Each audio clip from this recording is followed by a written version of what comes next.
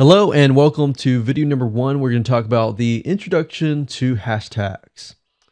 So first things first, I want to make sure that you're in the right mindset.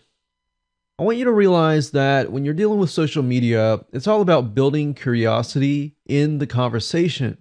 And it's not about selling your product or service or getting somebody to take action right away. It's about building a relationship and going from that point. So what I want to do now is give you a quick videos overview of what we're to be talking about in this specific video series.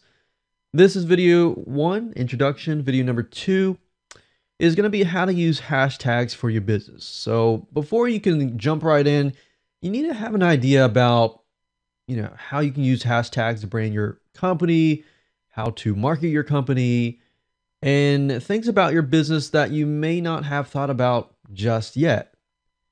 Then we'll talk about the basics, the fundamentals like how to create hashtags. Then we're going to talk about researching trending hashtags. So we know which hashtags are getting a lot of traffic. And then we take that one step further and we figure out related hashtags to that main hashtag keyword that we are focusing on. Then in video number six, we're going to focus on hashtags on Twitter, hashtags on Facebook on video, video number seven, Video number eight is going to be about using tools to speed up the process that we talked about in videos one through seven. And that is to how do you find hashtags that are powerful, that are trending, and that are doing really, really well without having to do all of this research here. And then, of course, if you want to track how your hashtags are doing in terms of how impactful have they been to your audience, then you can watch video number nine and I'm going to show you a specific tool that you can use to do that. So here's basically how it all works. So basically what you want to do is you want to research trending hashtags in your niche first and foremost. Once you've done the research, then you can brainstorm and plan those specific hashtags around your product and service. Then you can start the conversation, communicate with people, and go from that point.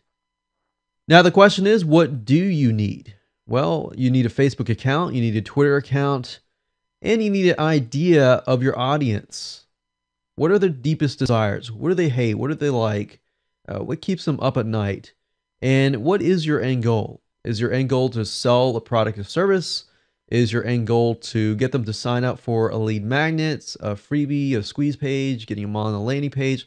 What is your end goal? And then you can have some money only for the paid tools if you want to speed things up. It's not required. You don't have to do it.